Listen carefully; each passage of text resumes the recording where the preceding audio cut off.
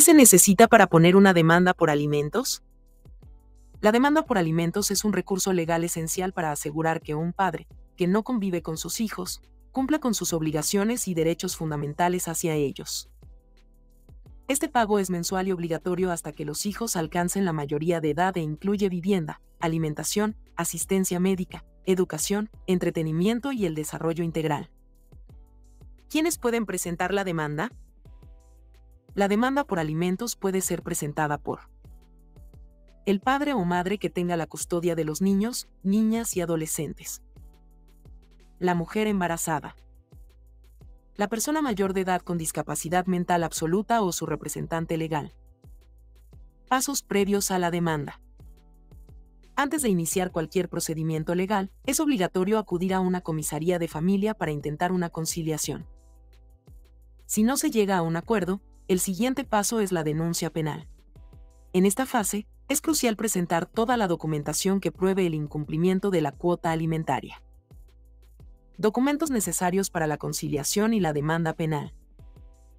Acta de conciliación. Documento donde se fija la cuota alimentaria por decisión judicial, o los documentos proporcionados por el comisario de familia si no hubo acuerdo.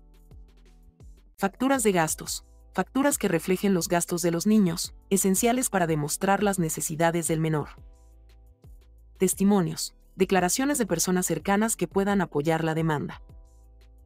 Requisitos para iniciar la demanda. Para comenzar una demanda por alimentos a favor de un niño, niña o adolescente, se debe acudir al Centro Zonal del Instituto Colombiano de Bienestar Familiar, ICBF, del lugar de residencia del menor y presentar los siguientes documentos. Documentos de identidad.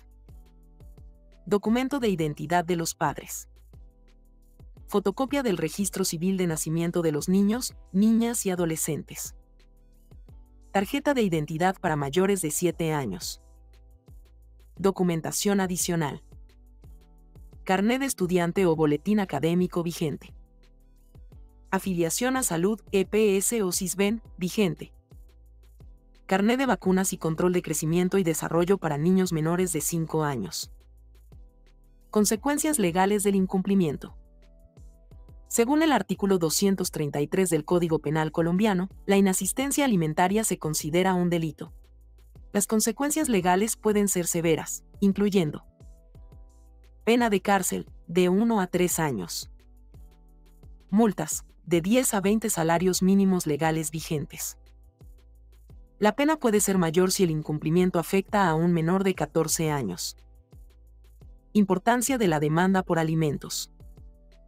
La demanda por alimentos es crucial para garantizar que los niños, niñas y adolescentes reciban los recursos necesarios para su desarrollo integral.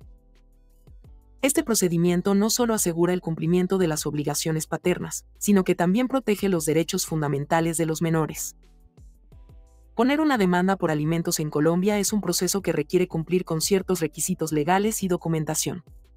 Es fundamental seguir los pasos establecidos por la ley y presentar la documentación adecuada para garantizar el bienestar de los menores. La inasistencia alimentaria es un delito grave, y es vital que los padres comprendan la importancia de cumplir con sus responsabilidades económicas para con sus hijos. Es muy recomendable tener un abogado de familia que brinde acompañamiento durante todo el proceso legal.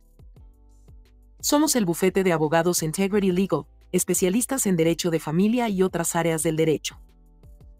WhatsApp 310-860-6060. Llamada 316-494-0000. Estados Unidos, New York City Phone 177 43 34 1010. Sitio web abogadosdefamiliacolombia.com te invitamos a suscribirte a todas nuestras redes sociales para que recibas más información. Integrity Legal